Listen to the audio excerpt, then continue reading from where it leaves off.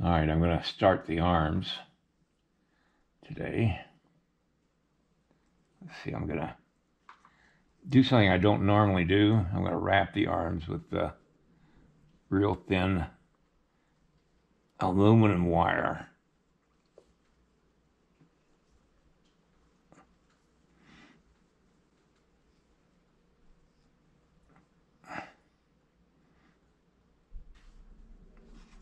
For the palm of the hands.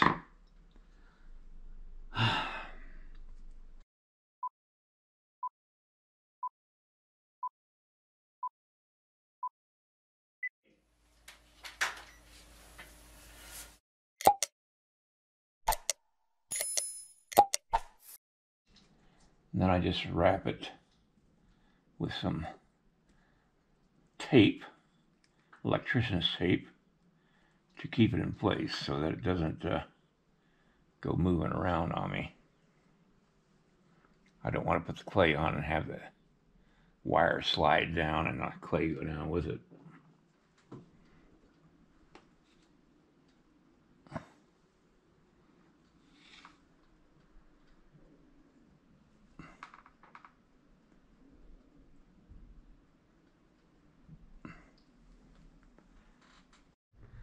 All right, I've uh, made an armature for the uh, scarf that she is holding in her hands and letting billow out behind her. Um, not sure that's going to work, but trying it out anyway. Let's take the uh, armature out.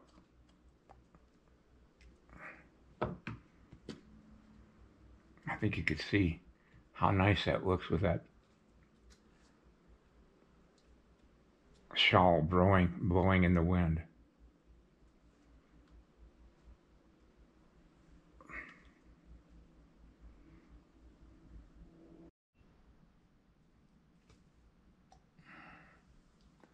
All right, I'm going to be taking her head off in a little bit here and start working on her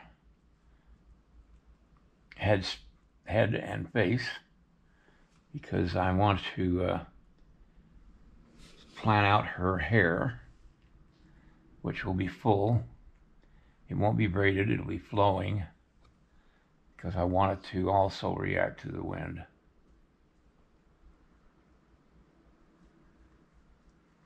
And I can't do that till I get the face structure figured out.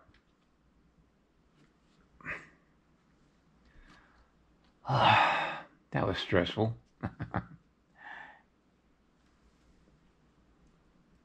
You know you're not breaking new ground if you're not stressed. A little.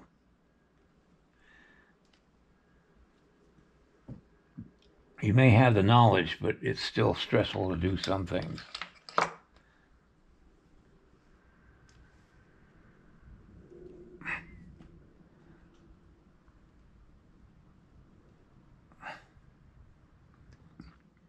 Okay, I'm going to take her head off.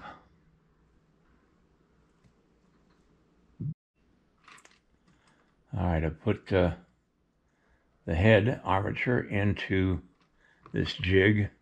And this is a uh, attachment for an impact drill so that you can use regular drill bits. It's, uh, it expands and contracts for the uh, drill bits, but it works really good for uh, tightening and locking in the wire armature for the, uh, the head so that I can work on the head separate from her. I'm working off of several photographs that I and and illustrations that I got from uh, the web, and uh, you can get a lot when you search on Pinterest because they have a great store of uh, drawings and photographs and renderings and stuff like that. That really helps uh, if you've got a particular subject. For this one, I searched faces of young women, and uh, I got a few good ones.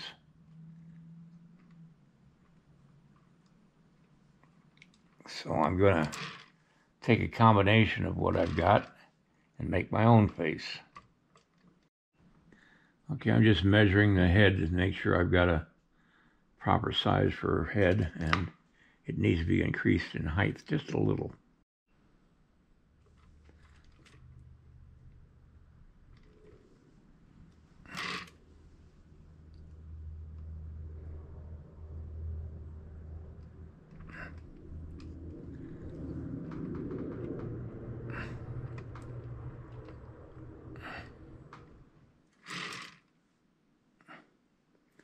All right, I've just uh, blocked in the face a little bit. I increased the uh, forehead a little bit. A female forehead is just a little rounder than a male's.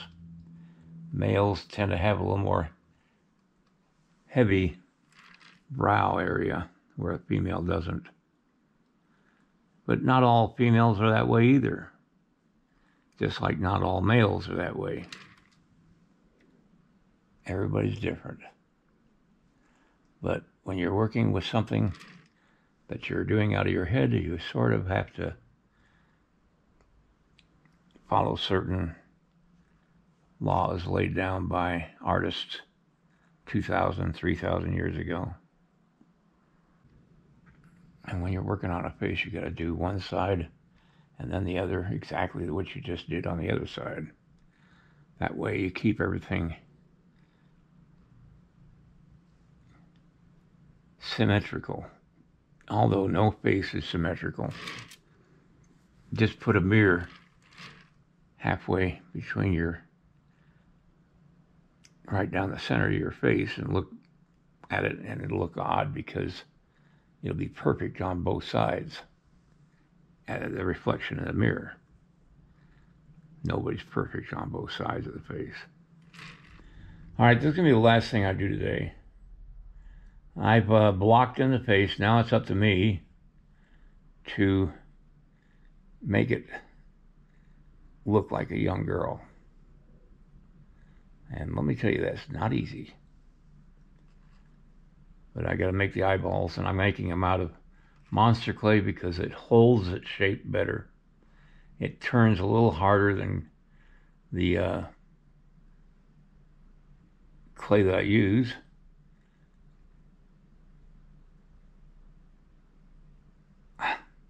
If I can just get the damn thing in the eye socket.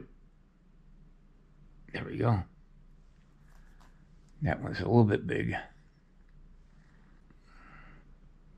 If you're going to work around an eyeball, you want the eyeball to be at least. Now, that's a perfect size, and this one's just a hair too big. Just a matter of taking away clay and redoing the uh, rolling around in your fingers you get a ball. I'll let this stiffen up overnight, which will make it perfect for tomorrow. There.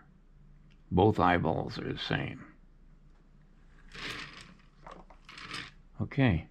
I may bring out the eyeballs just a little bit not much. All right, everybody. Let's see what she looks like with her head on. Oh, that looks nice. That head is, is perfect. The nose is perfect. Everything is turning out perfect. I keep telling myself that. Doesn't always happen. All right. See you guys tomorrow. Good night.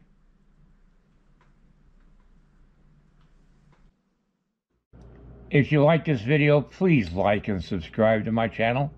It really would help me. Also, check out the link below this video. It will take you to a review of my nine instructional videos that could be very helpful to you if you're thinking of sculpting. Good night, everybody.